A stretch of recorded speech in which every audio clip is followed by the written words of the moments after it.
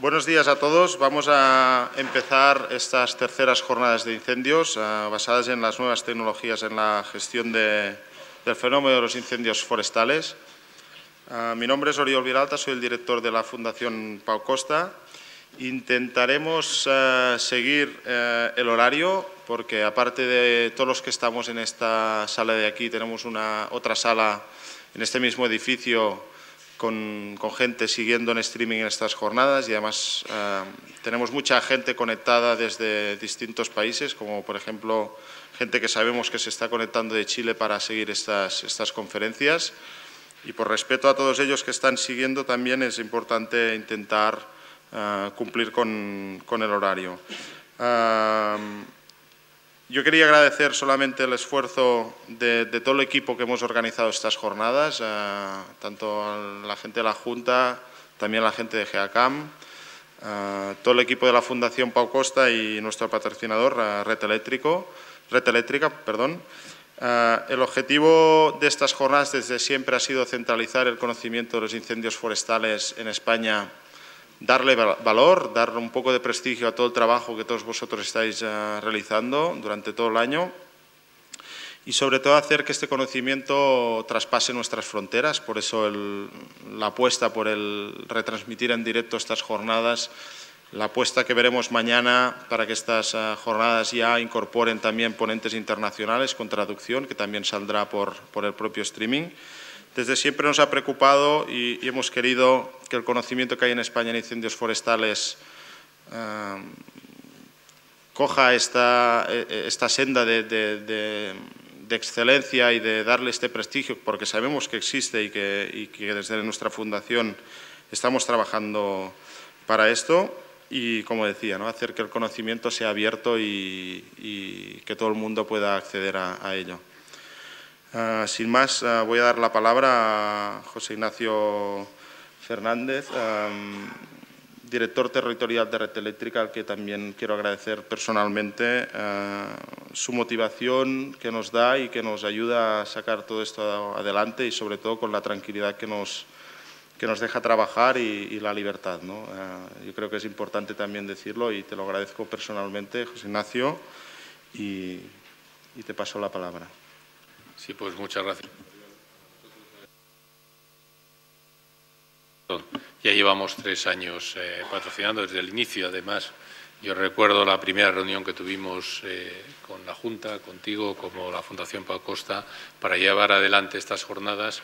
Para mí, personalmente, es un orgullo y para Red Eléctrica también, puesto que el éxito desde el inicio ha estado asegurado. Eh, nuestra presencia en el territorio, en concreto en Castilla-La Mancha, tenemos 4.076 kilómetros de circuito, de los 43.000 que tenemos entre península y los sistemas insulares. Por lo tanto, nuestra presencia, en concreto en Castilla-La Mancha, es importante, pero también en todo el territorio nacional. Por tanto, las jornadas que no tienen un carácter únicamente de esta comunidad autónoma, sino que agradecemos de otras comunidades que nos acompañan, como en Andalucía, eh, agentes medioambientales que están aquí y sé que nos están viendo de personal de SEPRONA y de la Unidad Militar de Emergencia que este año no han podido venir. Es para nosotros, como os decía, un orgullo. O sea que, Oriol, muchísimas gracias y espero que el año que viene, que ya tenéis fecha y tema para las jornadas del 2017, sean también un éxito.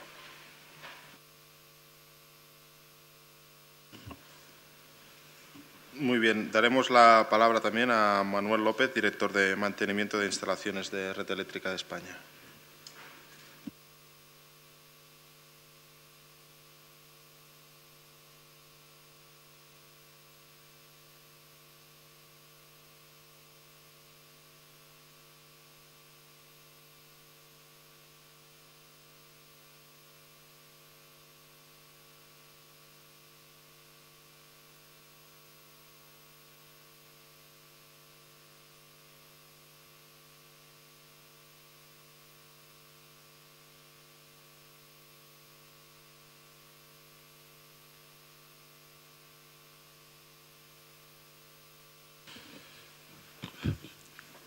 Buenos días a todos. Gracias por la presentación. Gracias, Oriol, por eh, la contribución y la participación, la organización de estas jornadas.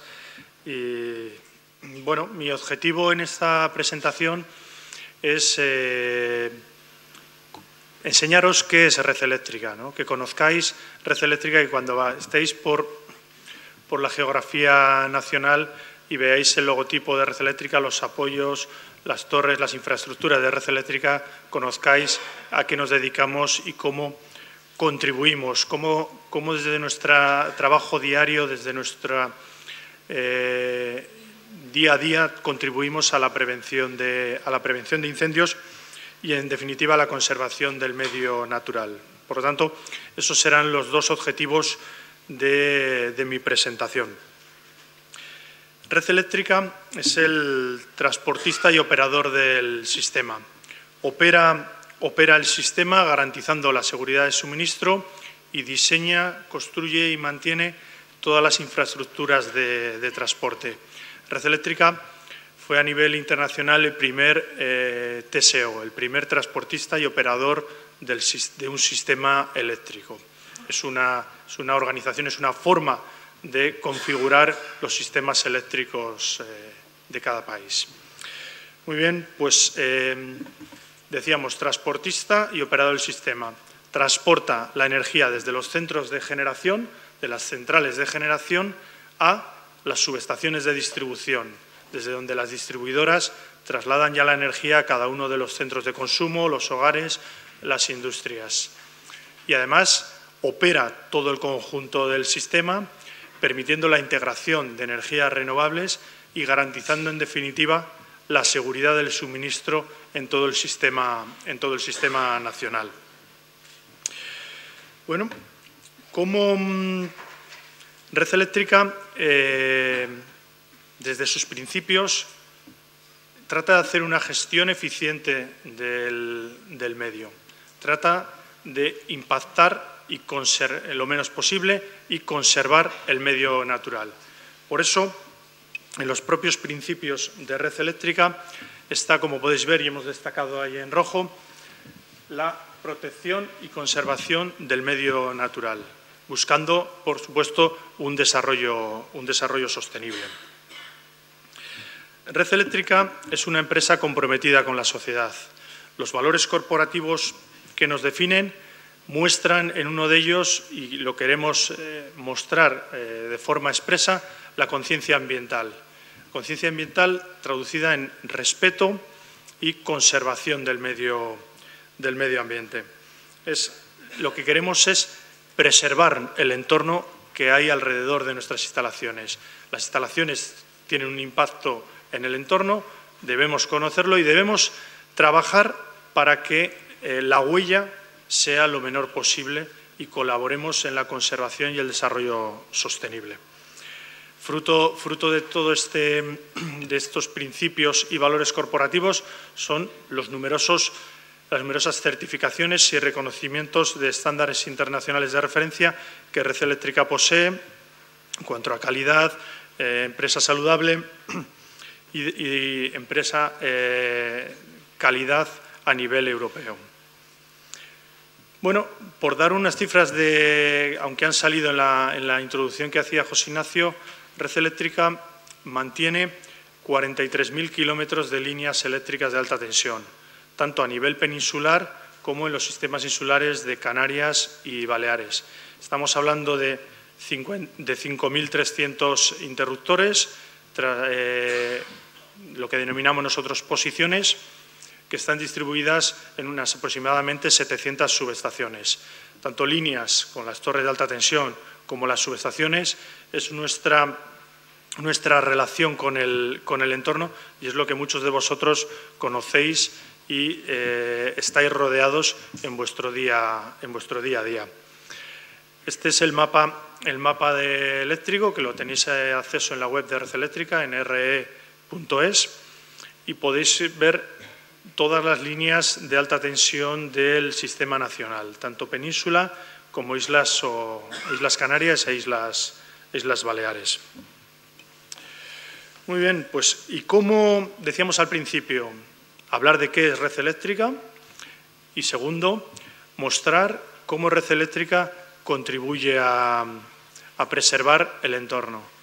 Pues muy bien, a través de la política ambiental y el traducir los, los principios de la política ambiental en las actividades del día, las actividades del día a día. Ahí podéis ver la orientación y todos los principios que Red Eléctrica desarrolla en su política ambiental y lo traduce en actividades concretas del día a día. Por ejemplo, el mantenimiento, con la colocación de salvapájaros en las líneas en determinadas zonas, con la gestión de los nidos de cigüeñas. En determinadas zonas estos nidos llegan a pesar pues, más de 600 kilos. Y imaginaros lo que supone eso en una instalación, eh, una instalación diseñada, pensada, calculada para determinados pesos, en el que de repente pues, hay que hacer un hueco a un, visitante que nos, que nos, acompaña en nuestro camino.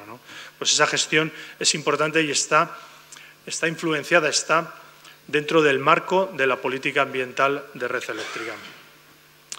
Pero no nos quedamos solo ahí, sino que vamos un paso más adelante. Buscamos a través de la innovación, teniendo en cuenta la política ambiental y teniendo en cuenta la normativa eh, tanto eh, forestal como eh, eléctrica, tenemos, damos un paso más buscando la innovación y buscando proyectos que nos ayuden a preservar ese entorno en el que nos encontramos. Por ejemplo, un proyecto que, estamos ahora en curso es el proyecto del ciclo, del ciclo Vegeta. Este proyecto es un proyecto que busca una gestión eficiente del ciclo de la vegetación alrededor de, la, alrededor de, los activos, ¿no? alrededor de las líneas y alrededor de las subestaciones, combinando tanto la política eh, forestal, la política medioambiental, como la necesidad de la instalación en, el entorno. ¿Qué hemos hecho en este? ¿Qué, hemos buscado? Hemos buscado un eh, mantenimiento por condición de la vegetación, es decir, vamos a, saber qué vegetación eh, con detalle hay alrededor de los 43.000 kilómetros de línea, vamos a hacer una cartografía de vegetación, vamos a hacer, hemos, bueno, perdón, hemos hecho en los primeros ejercicios que estamos llevando a cabo unos vuelos LIDAR para poder determinar qué, tipo de vegetación y, qué, altura tiene esa vegetación.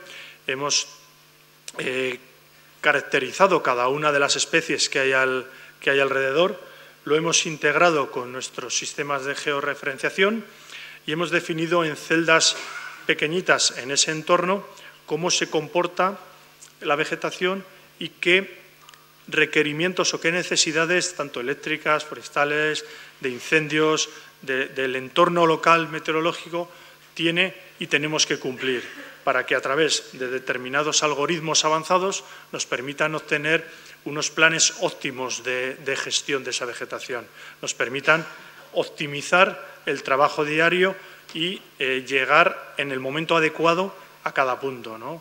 Eh, no es lo mismo el crecimiento de una especie que de otra, no es lo mismo ese crecimiento en una situación, más, en una celda más alejada de los conductores que otra, en determinados eh, requerimientos locales que nos, que nos encontramos en nuestro, en nuestro día a día.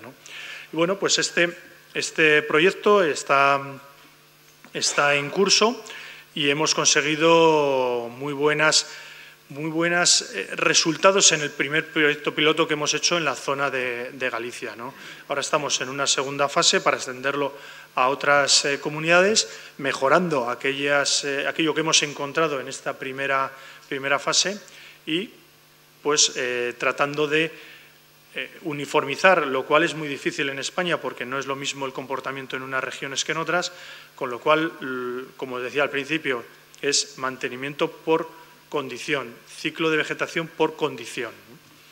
Otros proyectos que estamos desarrollando es un sistema de, eh, de, prevención, de detección de incendios a través de elementos que nos permitan eh, detectar con la antelación. ¿no? Eh, veis aquí un ejemplo de una cámara, una cámara alimentada con unos paneles solares y que permite mm, detectar eh, focos de incendio cuando se están empezando a, producir. Este es un proyecto que, aunque los resultados han sido buenos, el, coste económico del equipamiento que estábamos utilizando nos hizo valorar por la dificultad de extenderlo a todos los 43.000 kilómetros. Entonces, en una segunda vuelta, en una segunda reflexión sobre cómo podemos prevenir, cómo podemos detectar los incendios, fuimos a otros sistemas basados en el Internet de las Cosas. Y estamos lanzando ahora mismo eh, un proyecto de detección de incendios a través de sensores que no necesitan una alimentación externa, que no necesitan unos paneles solares para comunicar lo que ellos están viendo y que conectados a una, a una red eh, en muchas zonas ya disponible, nos permitiría tener información rápida de eh, la eh, detección de incendios que se están produciendo en el, en el, entorno de nuestras instalaciones. Es un proyecto que estamos lanzando, tenemos que desarrollar o tenemos que adaptar los sensores que hay desarrollados en el mundo que, que todos estáis viendo, que está avanzando a una velocidad brutal, del Internet de las Cosas y que nos permita tener esa información y tenerla integrada en un centro de, gestión de, incendios que nos permita captar esa información y poderla transmitir en tiempo y forma a, eh, las administraciones o a los eh, eh, encargados de realizar acciones posteriores para proteger ese, ese, incendio o prevenir o acotar el incendio que se, que se está produciendo. En definitiva, Red Eléctrica trabaja tanto desde sus valores corporativos y principios en preservar y conservar el medio, natural y promover un desarrollo sostenible. Muchas gracias.